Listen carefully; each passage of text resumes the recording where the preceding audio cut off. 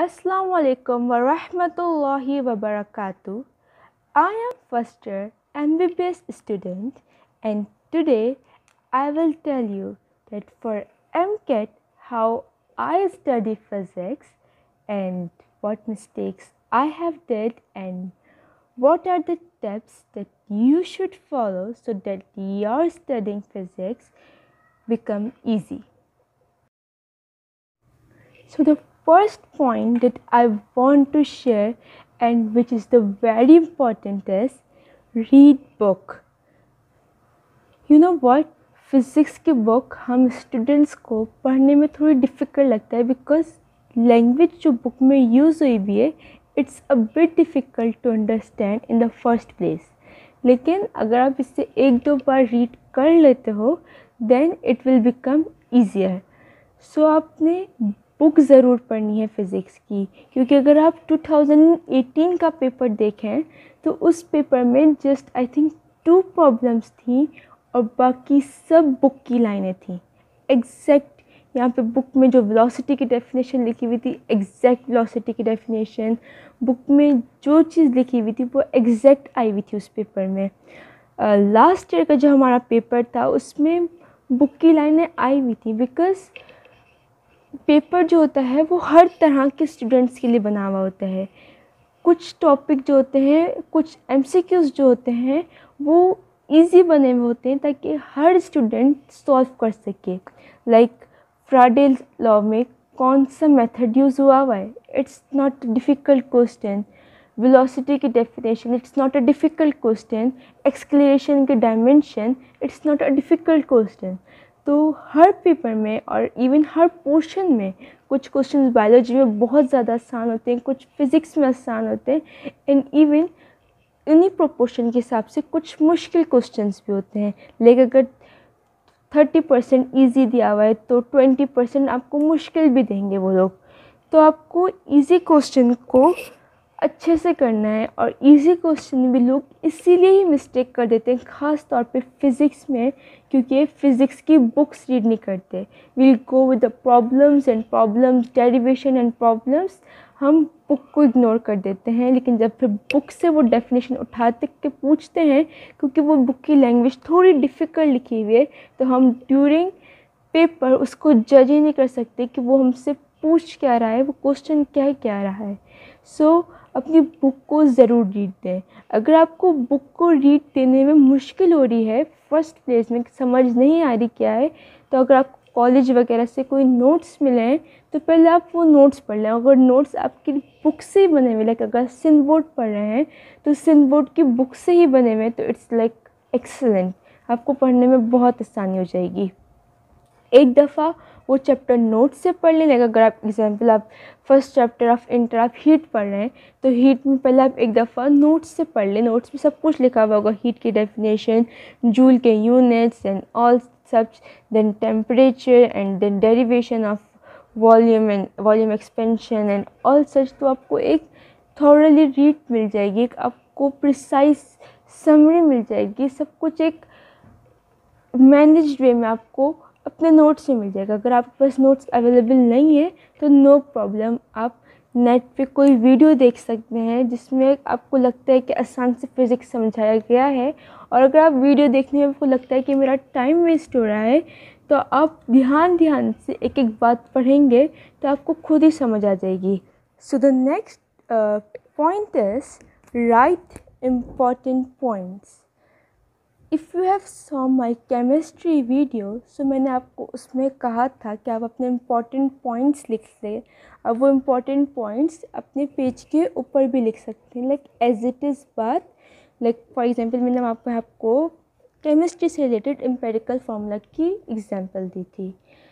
Physics में I have did something little different और वो क्या है कि मुझे लाइक अगर कोई एक बात उस लाइन की समझ आई, जो उस लाइन में बात लाइक घुमा फिरा के लिखी हुई है, सीधी बात नहीं लिखी हुई, लेकिन अब मुझे वो सही समझ आ गई है, नेट पे पढ़ने के बाद या सब कोई वीडियो देखने के बाद या खुद से, या टीचर ने लेक्चर दिया था तो आई हैव मुझे वो बात समझ आ गई है तो अब मैं उस बात को सिर्फ़ उस वक्त नहीं समझूँगी।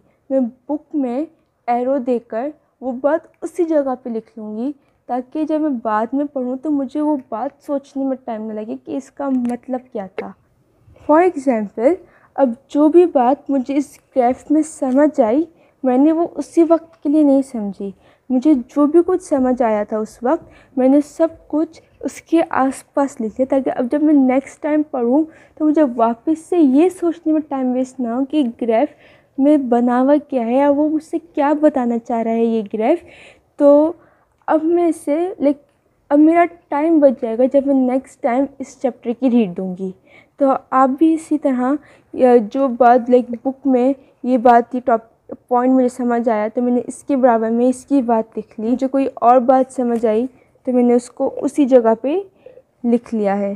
So it will be quite easier for you to read the next time जो फार्मूलाज वगैरह हैं, ये मैं पहले भी बता चुकी हूँ, वापस बोल रही हूँ बुक के स्टार्टिंग में लिखने।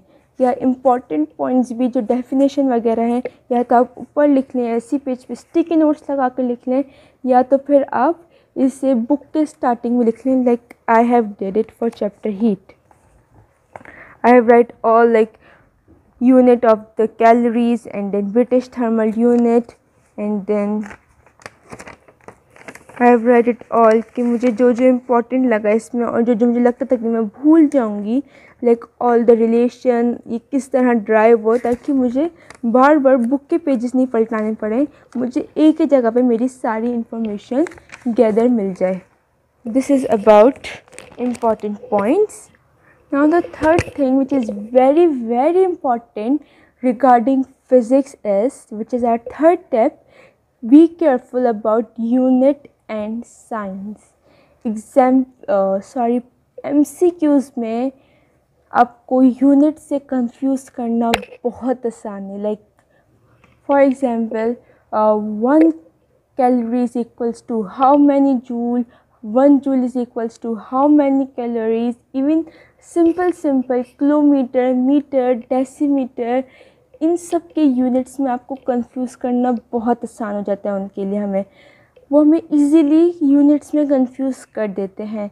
इसके अलावा लाइक अगर आप देखें कॉम्पटन इक्वेशन है तो उसमें प्लस माइनस का बहुत ध्यान रखना होता है। ये मिस्टेक मैंने की थी। जल्दी जल्दी में I have don't see the M C Qs कि, ये बता रही ना एंड में हम जल्दी जल्दी में आसान चीज़ें भी गलत कर देते हैं कि मैंने साइन नहीं देखी थी कि मैं टिक कर रही हूँ कॉम्पटन इक्वेशन का कि मैंने प्लस पे सही टिक किया है कि माइनस पे टिक किया एंड मैंने घर आकर देखा कि मैंने गलत एम सी क्यूज़ पर टिक किया हुआ था उस वक्त। सो so, जब भी सॉल्व कर रहे हैं लाइक वो आपको इस तरह दे देंगे two minus two minus three four तो हमने जल्दी से देखा हमने प्रॉब्लम इतनी बड़ी सॉल्व करी टू आंसर आया टू लगा दो। डोंट रश ऑन इट अब देखें टू आंसर है या माइनस टू है? माइनस ज़ीरो पॉइंट फाइव है या ज़ीरो पॉइंट फाइव है। तो साइंस का बहुत ध्यान रखें, इस बहुत माइनर मिस्टेक है, लेकिन मार्क्स पूरा चले जाता है। इसके अलावा यूनिट में एक प्रॉब्लम आपने सॉल्व करी है, उसके अलावा आपने आंसर निकाला है किलोग्राम में। उन्होंने आंसर लिख दिया है ग्राम में।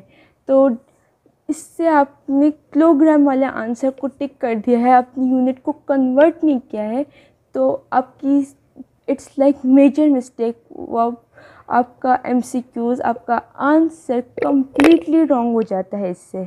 आपकी पॉइंट्स की मिस्टेक हो जाती हैं, अगर आपने यूनिट को, एक यूनिट को लाइक अगर आप किलोग्राम को ग्राम में कन्वर्ट कर रहे हैं और आपने सही कन्वर्ट नहीं किया है तो आपके मेन नंबर तो हो सकता है सही भी हो, लेकिन जो पॉइंट्स मूव होते हैं, जो आप कन्वर्जन कर रहे होते हैं तो अगर आप ज़रा सी मिस्टेक हो जाती है तो you lost your one mark तो be careful about unit and signs ये मैंने मिस्टेक की थी. Please don't make this mistake बहुत इजी क्वेश्चन होते हैं साइन वाले कॉम्पटन इफ़ेक्ट का बहुत इजी क्वेश्चन होते हैं. हर जगह पे लाइक अगर आप यंग डबल स्लेट की इक्वेशन ले लें तो उसमें भी हमारे पास माइनस होता है। इसके अलावा और भी बहुत सारी एग्ज़ाम्पल हैं, बहुत सारी डेरिवेशन है जिसमें आखिर में माइनस लगा होता है। तो जब भी वो क्वेश्चन आए तो ध्यान से पूरे क्वेश्चन को देखें कि जिस जगह पे माइनस था, उसी जगह पे माइनस है। जिस जगह पे प्लस है, उसी जगह पे प्लस है। उन्होंने रिवर्स तो नहीं कर दिया है सो so, ताकि आप इजी क्वेश्चन में अपना मार्क्स नहीं गवाएँ। Now the fourth thing is do examples and exercise problem as many times as you can because जितनी ज़्यादा दफ़ा आप करेंगे उतनी अच्छी आपकी प्रॉब्लम में ग्रिप हो जाएगी। एंड वो लाइक आप उसे इजीली सॉल्व कर सकोगे। आपको फॉर्मूलाज याद करने में प्रॉब्लम नहीं होगी because in physics as compare to chemistry we have abundant of formulas तो आपको, अगर आप प्रॉब्लम सॉल्व करेंगे तो आपको अलग से फार्मूलाज रटने की ज़रूरत नहीं पड़ेगी।